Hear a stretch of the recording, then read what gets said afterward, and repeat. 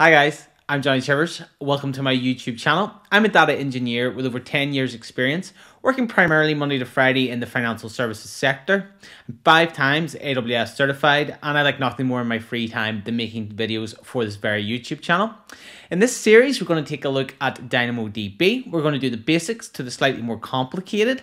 I'm going to guide you through the theory in this lesson, and then we're going to do some hands-on practical at the end, and then build upon that practical throughout another three lessons. So there'll be four in total. Let's just get started and get into it. So what is DynamoDB? DynamoDB is the NoSQL offering from AWS. But what is NoSQL? Not only SQL, is a way of storing and querying data that is non-relational without using SQL. So traditionally, if you think about databases that you may have encountered in the past, they're probably relational in nature, such as MySQL, Postgres, Microsoft SQL Server, Oracle. And these consist of tables, and tables have links between them on keys. If you haven't encountered one of these databases, don't worry about it too much, but it's good to have a concept of what that is before we go to NoSQL.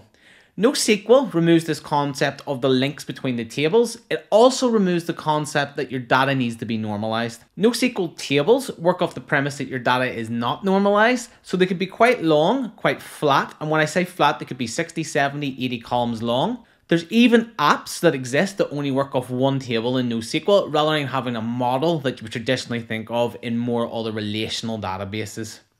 Also, you don't use SQL usually to return the data, or not only SQL. So in terms of DynamoDB, I'm going to use the Boto3 library and show you how to write the code to put data in, retrieve that data, delete data, and update it.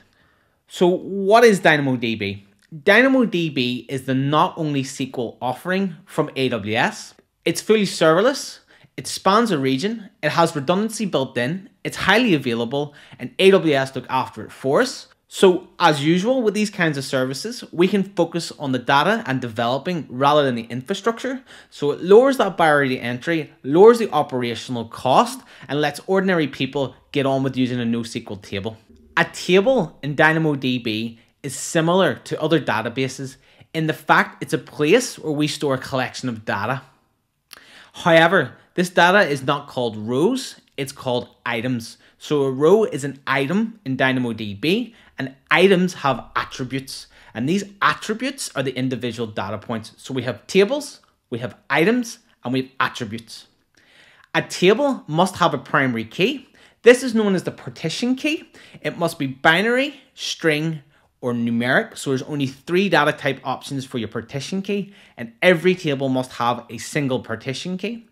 We can then make this further unique by adding a sort key. So if we're going to have a partition key that may occasionally repeat, we can add a sort key, which is a second attribute, and then we can have the same partition key more than once in the database, but with a different sort key. And that's highly important because DynamoDB will overwrite any row that you update or insert on accordance with its primary key. So if we already have a partition key or that primary key in our table and we insert another item with the same primary key and partition key, it will overwrite that existing item. It doesn't care about the relations between data. It's non-relational in nature, unlike a more traditional database such as MySQL, where you might get an error. Therefore, there are some best practices when it comes to picking a sort key and a partition key to form that primary key. The partition key, which is the basis of the primary key, should be high in cardinality. That is very unique. You want to pick the key that is most unique in your data set. And that's for two reasons. One is the update and insert reason that I just explained. But two is the partitioning that happens inside DynamoDB. It stores your data together in groups of 10 gigabit chunks based on that partition key. And you want a high cardinality on that partition key because if you use a sort key, it will store those data items together. And the last thing you want is running a hot topic where everything ends up in roughly the same partition key with different sort keys because then it will take longer to search through your data. So really important, you want to pick high cardinality for your partition key to form the primary key. Your sort key then comes into play if your partition key isn't good enough to be unique. You can add a sort key that then makes the entire thing your primary key. And based on your sort key and your partition key, you have your primary key. But what do I do if the partition key and the sort key isn't enough? I want to query the data a different way or I want to insert data a different way. So it's really important that your keys form the ability for you to query. That's where your partition key and your sort key forms the key that you do a lookup on on your data. DynamoDB have thought a way around this and have given us secondary global indexes where we can specify a totally different partition key and sort key on a table. Of course, it still has to be unique within that table, but it gives us another way to look at the data. So we might have a customer address table and it stores addresses and customers together and the customer can have more than one address. So we decide that we're going to use the address ID as the partition key and the customer ID as the sort key, which means we can search that table on the address ID. But we also want to look up on the customer ID because we want to know all the addresses associated with the customer. So we can form a global secondary index where we can do the inverse of this, where I want to look up on the customer ID first, then the address ID. So the customer ID becomes my partition key and the address ID becomes my sort key. And so we formed a secondary global index so we can do two types of searches on two different sets of keys. As DynamoDB is fully serverless, we have to provision the capacity that we want to read and write with.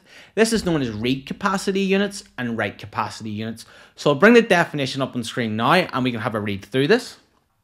One read request unit represents one strongly consistent read request or two eventually consistent read requests for an item up to 4 gigabits in size. But what is a strongly consistent read? A strongly consistent read is where we want to read the item in a table without it being affected by any other operations. So DynamoDB has to place a lock on that item and then we can read it. But what's an eventually consistent read? An eventually consistent read is where we can read the data, but there could be another operation being carried out on that data at the same time. But why is that useful? Sometimes we just don't care about getting a dirty read. A dirty read is when we read the data and it's not quite as it is as we read it, i.e. there could be an update happening at exactly the same time that we read it. And that's useful for things where there's massive counts. An example of this would be like YouTube subscriber counts. We don't really care the exact number of subscribers we have at any given time. We just want an approximation because locking the table and getting a read out of it is going to cost more data and cause more issues than it's worth. And then we have WRUs. These are a bit more simple, but again, I'll put the definition on the screen and we can read through it. One write request unit represents one write for an item up to one kilobyte in size. If you need to write an item that is larger than 1 KB, DynamoDB needs to consume additional write request units. So that's quite simple. You've one item up to 1 kilobit in size and you want to write it. It's going to cost you one read capacity unit. If you have 1.5 kilobits in size, it's going to cost you two. Simple on the writes, more complicated on the reads. Okay, but why use DynamoDB? So we use DynamoDB when we don't really need our data to have that relational reinforcement. There are occasions where we do need relations between data, but in the modern day, we can get away with this a lot more. We can perform checks outside of the tables themselves and just get on with it. This provides ultimate scalability throughout. So more traditional databases in relational manners have a lot more compute to go on to write data because it needs to do a lot of checks. We are not performing those checks, we can scale massively. So DynamoDB is great for scaling. It's also not complex to set up, as you'll see at the end of this lesson. It's a couple of clicks on the console and you're away. And that brings us nicely into the next point. It's a fully serverless service, which means it's fully managed by AWS, we have no operational overhead to look after that infrastructure, therefore it lowers the barrier to entry and we can get on with just putting data into a table. But when do we use DynamoDB? So we use it when the relational reinforcement of more traditional databases isn't that important. For example, in web apps, a lot of user tables, sign up tables, that's all DynamoDB. You can also use it for Internet of Things where you want to constantly stream data. So you need massive provision write put, you need scalability, and you need it to be quick. And then again, I use it quite a lot in a lot of apps that I develop for mobile. So I just want a mobile app where I want to store some user data. DynamoDB is perfect for that kind of use case again. That's enough of me rambling. As usual, the best thing to do is get on the console and I'll run you through all the things that we've just covered. Table setup, partition keys, sort keys, global and secondary indexes, Okay guys, that's me logged into the console. I'm working out of Frankfurt today because it's completely blank slate for me. Um, pick your own region that satisfies your own requirement. First thing we're going to do is go to Dynamo itself. So just type in Dynamo along the top as usual and hit enter. Once at Dynamo, if this is the first time you've been in in a region, you'll have create table here. or alternatively, hit the little hamburger menu and go to tables.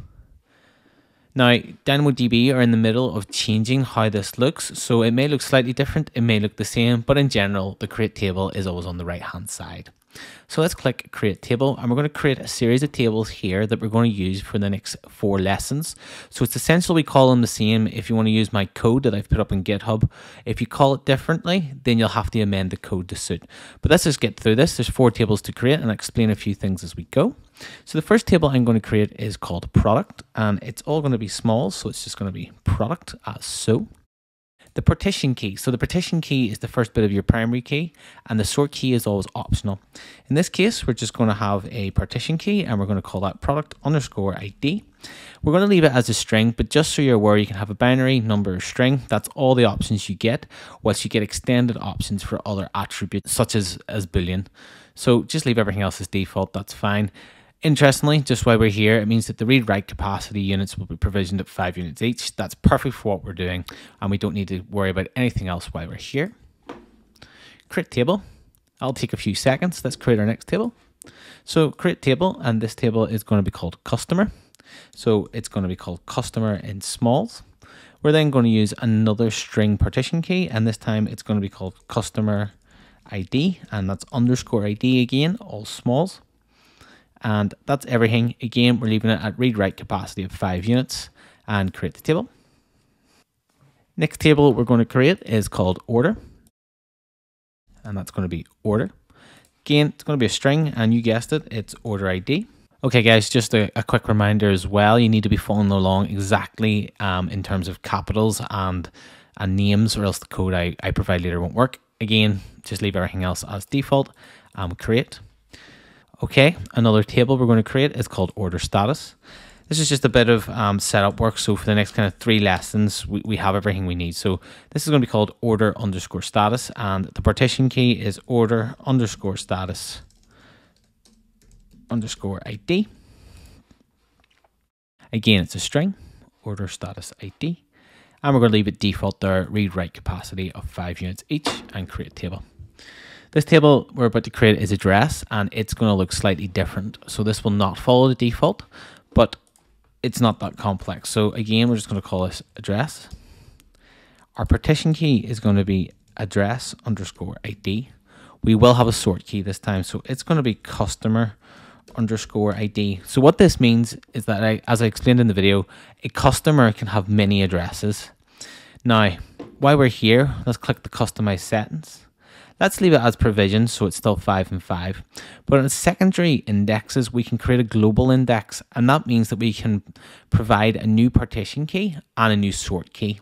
And what we're going to do is the inverse. So this time we're going to partition on customer underscore ID, and our sort key is then address underscore ID.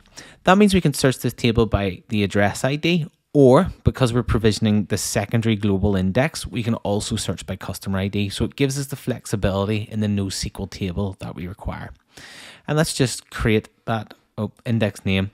So I'm just going to call this cost um, Ali hyphen index and create the index.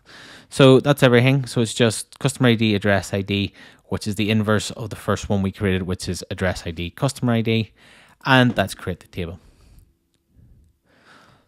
Okay, and you can see then that it does actually register that index on the console here and you can see it. One last thing for today, we're going to just quickly add a customer so we can see it in action.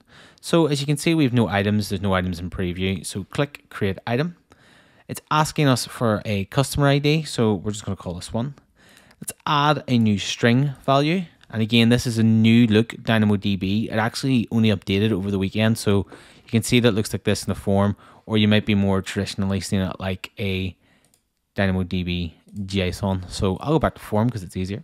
Uh, let's just call this um, first underscore name, and let's call this person John.